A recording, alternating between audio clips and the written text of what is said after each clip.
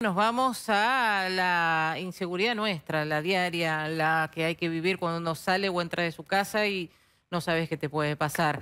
Está Marcelo Peláez con, una familia que vivió un momento tremendo. A sus hijas las apuntaron con un arma.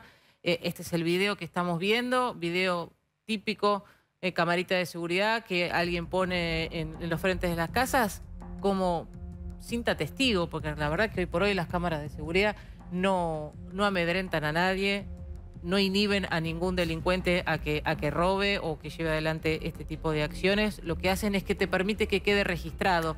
Y han pasado un momento tremendo. Marcelo, contanos.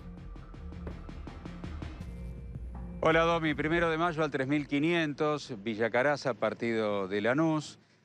Paola junto a sus dos hijas, Sofía y Renata. Aquí estamos con ellas en la puerta de su casa, el mismo escenario donde el sábado a las 6 de la tarde quedó grabado ese video que recién compartíamos con nuestros televidentes. Paola, ¿cómo fue todo? Y bueno, así como se ve en el video, eh, se aparecieron de la nada, me agarraron sorpresa y bueno, lo, lo vi cuando cargó el revólver, me apuntó a mí y yo lo primero que hice fue agarrarme y agarrar a las nenas. Las abracé y bueno, esperando cualquier cosa. así que- Ahora, a, a uno de los delincuentes se lo ve apuntar hacia adentro, la puerta estaba abierta. Eso fue lo final, cuando yo casi terminaba todo, porque ellos se dieron cuenta, mi nena se dio cuenta que nos estaban robando.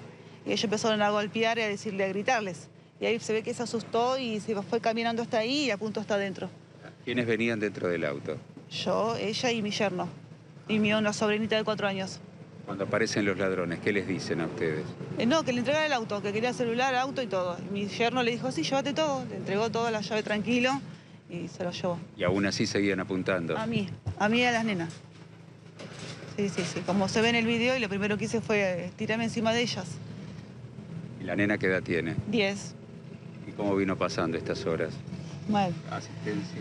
No, no, no. Por, no, hasta ahora no hizo falta. ¿Volvió al cole? No. No, no. Pero bueno, ya va, eh, a medida que van pasando los días está un poco mejor. Bueno, ¿pudieron recuperar algo de lo que les robaron? No, nada. Nada nada. No, no, no hay, no hay noticia. no, los teléfonos veníamos rastreando hasta los 10 minutos, se dieron cuenta, lo pagaron y ya no pudimos saber más nada.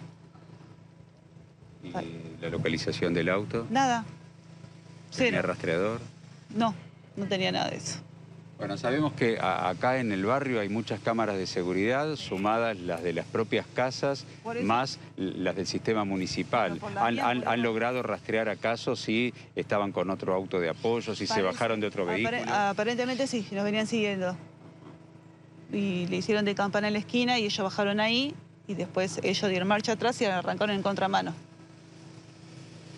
¿Qué edades tenían aproximadamente 17, los ladrones? 18. Más, más que eso no, 16, 18, sí. ¿Estaban a cara descubierta? Sí, totalmente. Sin barbijo.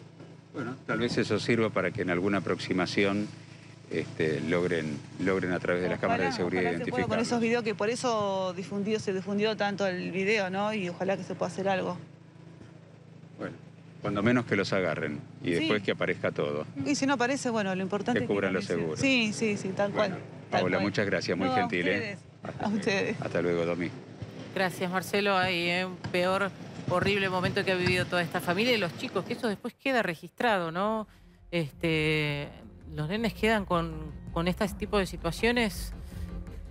La verdad que es muy